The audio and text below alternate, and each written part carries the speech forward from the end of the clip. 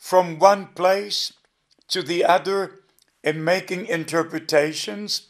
You go from one scripture to the next to show more light and more light, and every word explains itself. Every Bible question has a Bible answer. So, if we read those things in the prophet Daniel, we must come to the book of Revelation.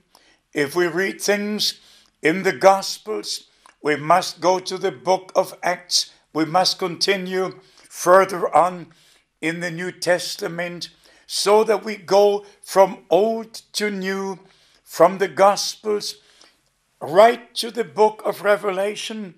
So every Bible question will have the answer from the scriptures itself. In Daniel chapter 7, we have again the information about the four world empires, but it says here in verse 19, then I would know the truth of the fourth beast, which was diverse from all the others, exceedingly dreadful, whose teeth were of iron and its nails of bronze, which devoured the old earth. Now, beloved friends, you can read in the prophet Daniel yourself. And then in verse 23, thus he said, The fourth beast shall be the fourth kingdom upon the earth, which shall be diverse from all kingdoms, and shall devour the whole earth, and shall tread it down and break it in pieces. In verse 25, we read, And he shall speak great words against the Most High. Question number one Who is the He of the connection spoken of in this context?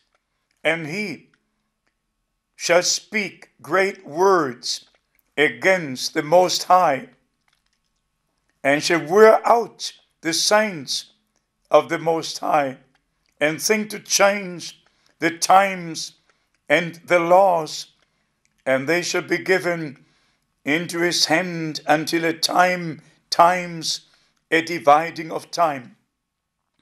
Already speaking of the last three and a half years, when the last persecution will take place, which will come upon the Jews at that time.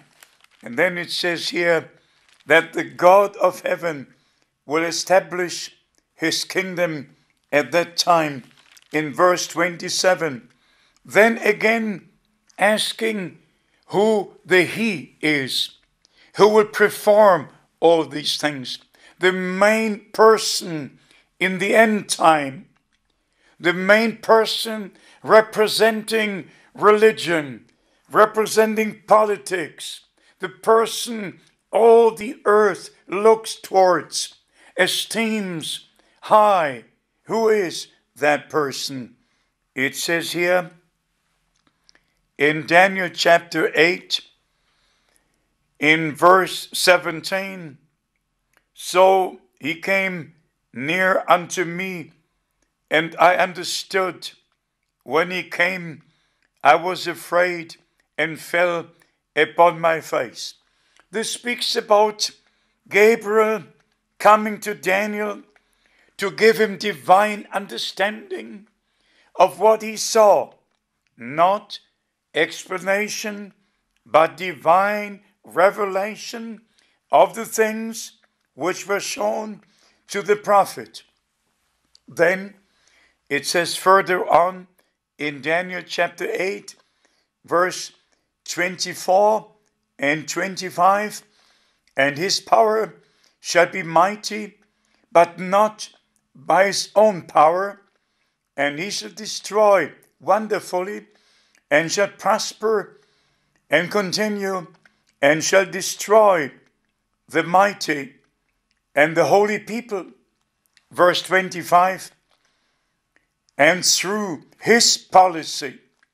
So this man, known as the Antichrist, as the false prophet, as the man of sin, as the son of perdition, the man who will have the most high esteem on earth, a man to whom Christianity, Muslims, Arabs, heathens, Jews, everybody will look up to the main person in the end time will not be some American president or some Russian president.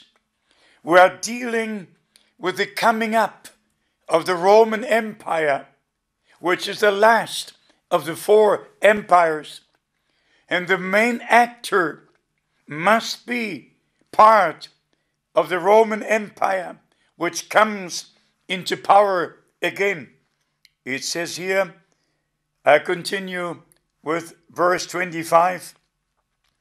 And through his policy also he shall cause deceit to prosper in his hands, and he shall magnify himself in his heart, and by peace shall destroy many. Usually, things are destroyed by war. But this man is a man of peace. All the nations, the UN, the United States, and other nations fight to destroy. But this man, by peace, will destroy many. Where is the connection in the New Testament? I read it to you from First Thessalonians, speaking of the day of the Lord, which would come as a thief in the night, and showing here from God's holy word itself that in the very end, peace will be declared. It says here, 1 Thessalonians chapter 5, from verse 1 But of the times and of the seasons, brethren, ye have no need that I write unto you. When the Lord spoke about the end time and the signs and the things he predicted, he says, When you see all these things, lift up your heads, for your redemption is drawing near. But of the day and the hour, nobody knows. We understand that the time is near, but we don't know the day, we don't know the hour. And then it says here to continue in 1 Thessalonians chapter 5 verse 2 For yourselves know perfectly that the day of the Lord so cometh as a thief in the night. And here comes the key scripture.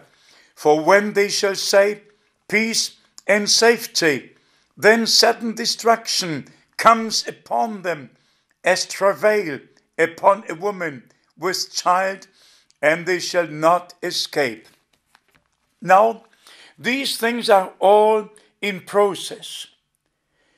All the wars which have been and are still continuing, all the uprises, all the catastrophes, the whole earth is in a turmoil.